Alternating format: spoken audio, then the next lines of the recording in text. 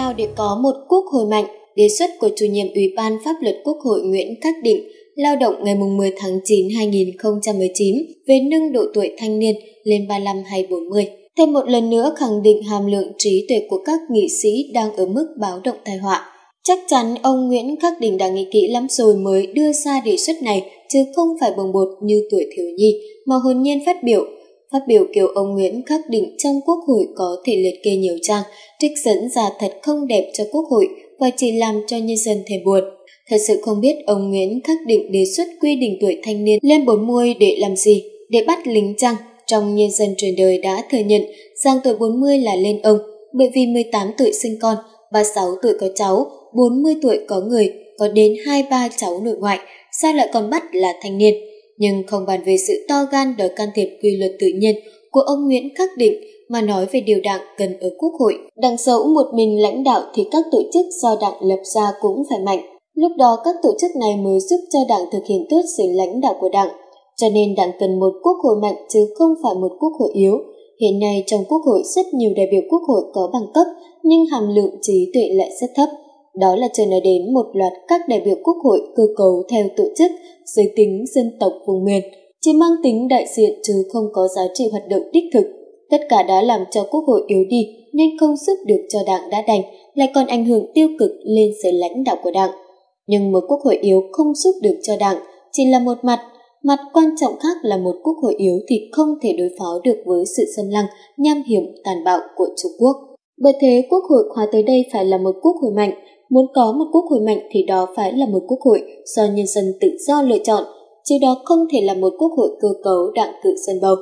Vì sự toàn vẹn lãnh thổ của Tổ quốc và vì sự hùng cường của dân tộc, mà công dân phải hành động để chọn được các đại biểu quốc hội xứng đáng cho quốc hội khóa tới, đó là quyền lợi và nghĩa vụ công dân trước vận mệnh Tổ quốc. Không ai quên nghĩa vụ làm thế nào để có một quốc hội mạnh. Trong một diễn biến khác thanh niên tuổi 40, Quốc hội đang dung giả thảo luận về luật thanh niên sửa đổi, Đáng chú ý hơn cả là người ta đang muốn tăng tuổi thanh niên lên tới 40. Hồi còn trẻ tôi thấy quy định tuổi đoàn viên từ 15 đến 28, hiện nay theo điều lệ đoàn thì tuổi đoàn từ 16 đến 30, tức là theo quy định của luật thanh niên hiện hành. Còn bây giờ người ta muốn tăng tuổi tối đa của thanh niên lên cao hơn nữa, ông Nguyễn Khắc Định, chủ nhiệm Ủy ban pháp luật đề xuất nâng độ tuổi thanh niên lên tới 35 hay 40. Một đống luật đang bị xếp vào một gió không dám đụng tới như luật biểu tình, luật về hội, họ không muốn xây dựng những luật nhạy cảm ấy nhằm chừa ra chỗ trống để xử lý theo luật rừng. Lại có thứ luật mà không ai đủ can đảm nhắc tới, như luật về hoạt động của đảng cho nên Đảng Cộng sản Việt Nam muốn làm gì thì làm. Những luật đó rất cần thiết, nó tạo ra cơ sở pháp lý để quản lý xã hội, trong khi hoãn đi hoãn lại luật biểu tình, luật về hội không dám nhắc đến luật đảng, thì Quốc hội lại đem luật thanh niên ra bàn lại. Hình như Quốc hội không có việc gì để làm, Nói đúng ra là những việc cần làm thì không được phép nên đánh lôi những việc vô bộ ra bàn thảo. Chẳng lẽ đến nghị trường chỉ để ngủ, mà đã làm cho có việc thì sinh ra nhiều ý kiến rất vớ vẩn, chỉ tội cho dư luận giễu cợt. Trở lại việc nâng tuổi thanh niên lên tới 40, tuổi thanh niên cần quy định trong độ tuổi như thế nào để người ở giới hạn tối đa và tối thiểu phải có những điểm tương đồng, không cách biệt nhau mấy. Theo ý kiến của ông Nguyễn Khắc Định thì tuổi tối thiểu và tối đa của thanh niên cách nhau tới 24 tuổi, tức là cách nhau hẳn một thế hệ, hơn kém nhau 24 tuổi. Mọi thứ nó khác lắm như về sức khỏe, độ nhanh nhẹn, tính chạy chung sôi nổi. Một người 40 tuổi hoàn toàn có thể có con, từ 16 đến 20, 21 tuổi, khi ấy sẽ xảy ra chuyện bố con hoặc mẹ con cùng sinh hoạt trong một chi đoàn thanh niên. Đọc những ý kiến của các vị đại nghị gật, Hóa ra họ muốn nâng tuổi tối đa của thanh niên lên để những người trong độ tuổi mở rộng cống hiến được nhiều hơn.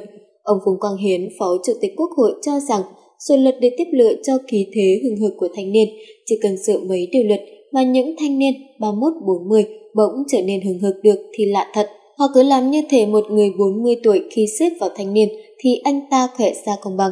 Ngược lại người trẻ nếu xếp vào người già cũng không làm cho họ già đi. Ngày xưa thế hệ bố mẹ tôi, 50 tuổi đã có người gọi bằng cụ. Bố tôi hồi 49 tuổi ra đường được chào bằng cháu kính cụ, chào cụ giáo. Sở dĩ tôi nhớ được là hồi ấy đoàn công tác tìm đến nhà cụ giáo để điều tra dân số. Gọi là cụ nhưng đâu phải làm ông già đi. Ông vẫn còn dạy học được hơn 10 năm nữa mới nghỉ hưu, còn tôi được báo về hưu từ năm 39 tuổi, có nghĩa là theo dự tính tuổi thanh niên bây giờ thì tôi về hưu khi chưa hết tuổi đoàn. Tôi đi lính ở nhà dân, còn những người 40 tuổi thậm chí 35 tuổi là bố mẹ, vì con của bố mẹ cũng xem xem tuổi tôi. Ông Hồ Chí Minh xưng là cha già dân tộc khi ông mới 55 tuổi, tức là hơn tuổi thanh niên mở rộng có 15 tuổi. Rõ ràng xưng thì cứ xưng, gọi thì cứ gọi nhưng không thể biến ông thành người cao tuổi nhất nước được. Thế nói đến ông Hồ nhắc luôn mấy câu thơ của ông. Trên 50 đã kêu già, sau ba mình nghĩ vẫn là đường trai. Ở một bài khác, vì nước chưa nên nghĩ đến nhà, 59 tuổi vẫn chưa già. Sau ba, đường trai năm chín chưa già lạc lối nói lạc quan, thì đồng viên mình là đồng viên người khác chứ không có nghĩa là tuổi ấy vẫn còn là thanh niên. Mời ông bà Quốc hội nghĩ cứ tăng tuổi thanh niên lên là con người chạy ra, trai hay không là phụ thuộc vào tuổi chứ đâu phụ thuộc vào việc xếp vào nhóm nào, thanh niên hay người cao tuổi. Ví dụ tuổi thanh niên nếu quy định tới 65 thì bà Kim Ngân vẫn là bà già 65 tuổi, chứ đâu biến được bà thành cô gái. Cơ cấu tuổi trong dân số là khách quan, dù phân loại theo tiêu chí nào thì nguồn lao động xã hội nó vẫn thế, cho rằng tăng tuổi thanh niên để tăng thêm nguồn lực lao động là lối tư duy nhảm nhí. Trong một diễn biến khác về sao thanh niên Nguyễn Khắc Định đề xuất 40 tuổi mới hết là thanh niên. Còn lưu ý việc ông Nguyễn Khắc Định từng là trợ lý của Thủ tướng Nguyễn Tấn Dũng và từng bị đá văng khỏi Sài Gòn. Chủ nhiệm Ủy ban pháp luật của Quốc hội ông Nguyễn Khắc Định đã đề xuất nghiên cứu nâng độ tuổi thanh niên lên 35 hay 40 tuổi, vì quy định độ tuổi thanh niên 30 tuổi như lâu nay theo ông là quá thấp. Dự án luật thanh niên sửa đổi đang được Bộ Nội vụ chấp bút soạn thảo, vừa có tờ trình dự án này tại phiên họp của Ủy ban Thường vụ Quốc hội, đề xuất nâng độ tuổi thanh niên là ý kiến của ông Nguyễn Khắc Định. Chưa ghi nhận ý kiến nào phản bác hay tán thành đề xuất đó của chủ nhiệm Ủy ban pháp luật của Quốc hội tại phiên họp. Bao nhiêu tuổi được gọi là thanh niên từng được đặt ra trong lần lấy ý kiến về sự luật thanh niên năm 2005. Khi ấy, khoản 2 điều 1 của dự luật thanh niên quy định, thanh niên là công dân nước Cộng hòa xã hội chủ nghĩa Việt Nam từ 16 đến 35 tuổi. Khi ấy, quan điểm của Hội khuyến học Việt Nam rằng tuổi từ 25 trở nên, nhiều thanh niên đã là cử nhân, kỹ sư, cũng có thể là các doanh nghiệp.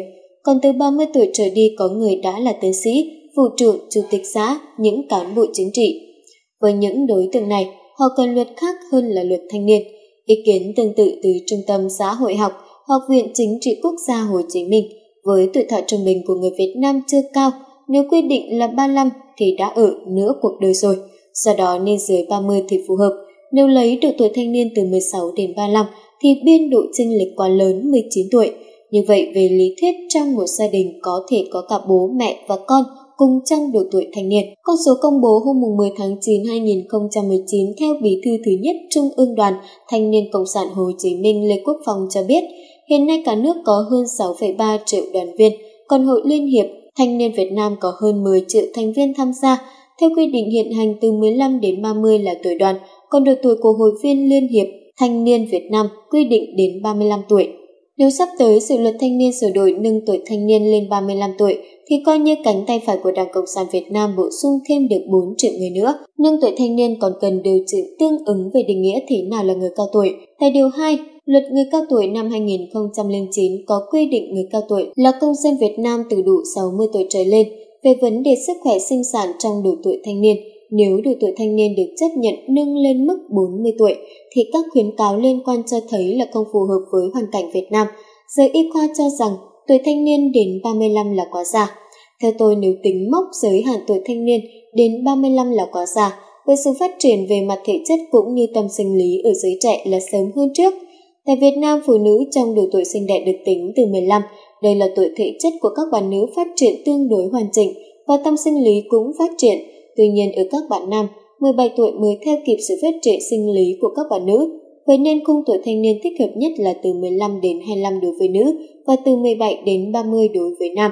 Bác sĩ chuyên viên tư vấn sức khỏe Nguyễn Ngọc Nam, Trung tâm tư vấn tình yêu hôn nhân gia đình nhận định, ghi nhanh của người Việt, ghi nhanh của người viết về đề xuất nâng tuổi thanh niên, theo cô giáo Nguyễn Thu Dung, thì nếu tăng tuổi thanh niên lên sẽ có tác dụng cho các báo cáo về dân số thị trường. Việt Nam đã để lỡ thời kỳ dân số vàng 10 năm trước, lúc đó đỉnh điểm quốc gia có nguồn nhân lực trẻ khỏe và dồi dào nhất, nhưng xui đúng lúc kinh tế đi xuống nên nguồn lực đó không được dùng hiệu quả. Việc kéo dài tuổi thanh niên ra có thể là một cách chơi chữ để tận dụng.